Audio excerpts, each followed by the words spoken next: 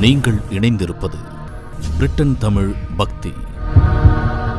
Corona virus. ஆறு நாட்களில் பிரம்மாண்டமான மருத்துவமனை கட்டும் சீனா. எப்படி சாத்தியம்? மாஸ் பின்னணி. கொரோனா வைரசுக்கு எதிராக சீனாவில் கட்டப்படும் மருத்துவமனை எப்படி வெறும் ஆறு நாட்களில் கட்டி முடிக்கப்படும் என்ற விவரம் வெளியாகியுள்ளது. சீனாவில் கொரோனா வைரஸ் தாக்குதலால் கடந்த சில வாரங்களாகவே பதட்டமான சூழ்நிலை நிலவி வருகிறது.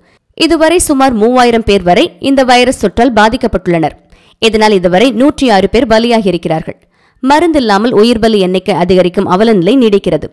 கொரோனா வைரஸ் மூலமாக பாதிக்கப்பட்டிருக்கும் மக்களுக்கு சிகிச்சை அளிக்கும் வகையில் சீனாவில் வெறும் ஆறு நாட்களில் பிரம்மாண்ட மருத்துவமனை கட்டி முடிக்க பக்கவாக திட்டமிடப்பட்டுள்ளது.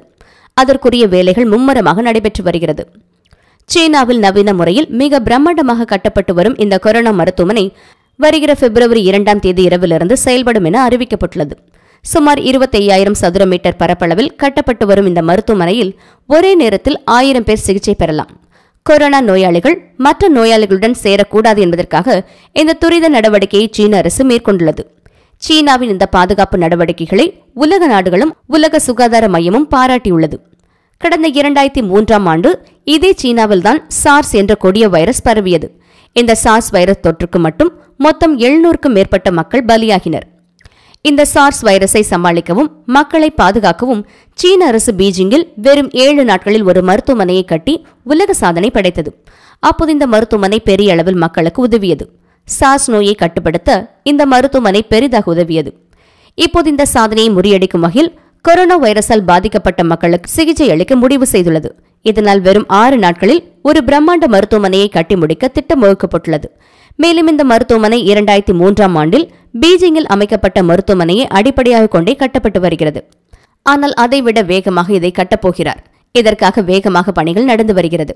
உலக சுகாதார கவுன்சில் மூத்த உறுப்பினர்கள் உலக சுகாதார கவுன்சில் மூத்த உறுப்பினர் யாங் ஷோங் ஹுவாங் குறிப்பிடுகையில் இதுபோன்ற நினைவு சின்ன திட்டங்களுக்கு மிக விரைவாக செய்து முடித்த சாதனை சீனாவிடம் உள்ளதாகவும் கட்டுமானத்தை சரியான நேரத்தில் முடிக்க நாடு முழுவதும் இருந்து பொறியாளர்கள் கொண்டுவரப்படுவார்கள் என்றும் தெரிவித்துள்ளார். இந்த பணியை இருபத்தி நான்கு மணி நேரமும் செய்ய உள்ளனர். ஷிப்ட் அடிப்படையில் மாறி மாறி ஆட்கள் பணியை மேற்கொள்வார்கள். இதனால் ஒரு நிமிடம் கூட பணி தாமதமாகாது.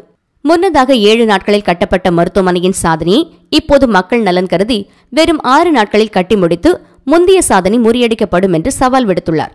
மேலும் இந்த மருத்துவமனையில் எக்ஸ்ரே அறை சிடி அறை தீவிர சிகிச்சை பிரிவு மற்றும் தனியே ஆய்வக அறை கொண்டு கட்டப்படும் என்றும் ஒவ்வொரு வார்டிலும் தனியாக பாத்ரூம் வசதிகளும் இருக்கும் என்றும் கூறினார். இதற்காக ஏற்கனவே கட்டப்பட்ட சுவர்களை பயன்படுத்தவும் உள்ளனர்.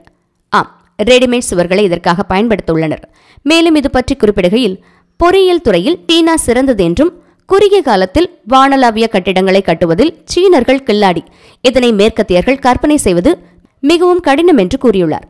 மேலும் மருத்துவ பொருட்களை பொறுத்தவரை ஊகான் மற்ற மருத்துவமனைகளிலிருந்து பொருட்களை எடுத்துக்கொள்ளலாம் அல்லது தொழிற்சாலைகளிலிருந்து எளிதாக ஆர்டர் செய்யலாம் என்றும் தெரிவித்துள்ளார். சீன பிரதமர் கொரோனா வைரஸ் பாதிக்கப்பட்ட மக்களுக்கு உதவி செய்யும் பொருட்டு தக்க நிவாரணத்தை செய்து வருகிறார். மேலும் பாதிப்புக்கு உள்ளான பகுதிகளில் முக்கிய பொறுப்பாளர்களிடம் நிவாரணத் தொகையை கொடுத்து உதவி செய்ய உத்தரவிட்டுள்ளார். ஊகான் நகரம் முழுக்க ராணுவம் களமிறக்கப்பட்டுள்ளது. ராணுவத்தில் இருக்கும் மருத்துவத்துறையினர் இங்கு நோயாளிகளை கவனித்து வருகிறார்கள்.